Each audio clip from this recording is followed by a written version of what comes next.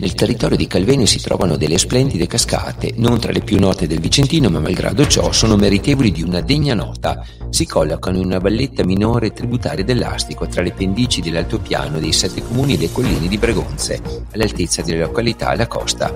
Le cascate sono inserite all'interno del Parco Naturale Franco Totaro, il quale coniuga le bellezze naturali con l'opera creativa dell'uomo. Infatti nell'area sono presenti diverse opere di land art che si possono scoprire lungo il cammino.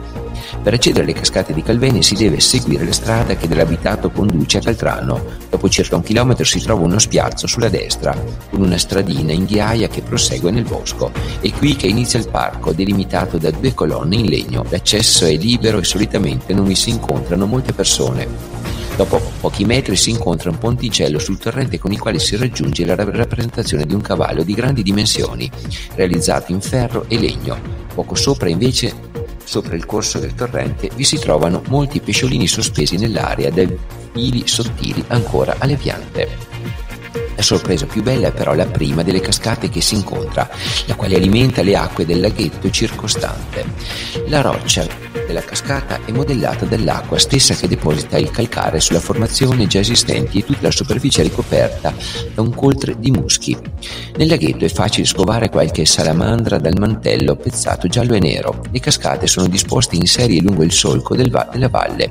Alcune sono più basse, formate da una serie di cadini e piccoli risalti, mentre l'ultima conta di un salto di una decina di metri. La particolarità avventurosa è una breve via ferrata che unisce tutte le cascate affiancando il corso dell'acqua. Il percorso attrezzato inizia proprio dalla prima cascata alla base di alcune rocce. Si compie quindi un breve traverso verso la cascata, che si può ammirare da molto vicino e poi con l'aiuto di alcune staffe si sale la paretina che si trova. Una scala d'acciaio permette quindi di superare l'ultimo tratto tra la vegetazione rigogliosa e si giunge in prossimità della seconda cascata. Questa ha un'altezza modesta, ma è pur sempre affascinante per la presenza di un fico che con i suoi rami ombreggia il salto dell'acqua.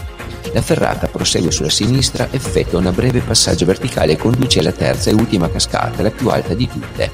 Il percorso è composto da una serie di staffe metalliche, molte delle quali ricoperte di muschio che sale verticalmente a fianco della cascata. È il passaggio più divertente, ad un certo punto si passa sotto lo scroscio d'acqua e ci si lava completamente, l'ideale per le giornate calde. Sorprendentemente, anche se non sembrerebbe, i gradini non sono scivolosi. Ovviamente per percorrere la via ferrata è consigliabile portare con sé l'attrezzatura adeguata e controllare le condizioni del percorso, altrimenti le cascate sono facilmente raggiungibili da comodi sentieri che si sviluppano nel bosco. Per il ritorno basta seguire il sentiero che scende nelle vicinanze e in breve riporta al punto di partenza. Tra gli alberi si trovano altre opere, delle quali la più recente risale allo scorso anno ed è costituita da un insieme di gabbie per uccelli appese ai rami. Complessivamente la visita alle cascate impegna poco tempo perché si trovano tutte vicine ad un'altra e si raggiungono in appena 5 minuti d'auto.